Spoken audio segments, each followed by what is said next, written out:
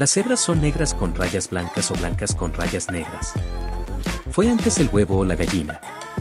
Sí, ya sabemos que esta pregunta tiene truco.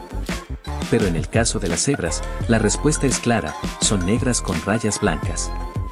En efecto, se ha comprobado que los embriones son negros y van desarrollando las rayas blancas durante la gestación.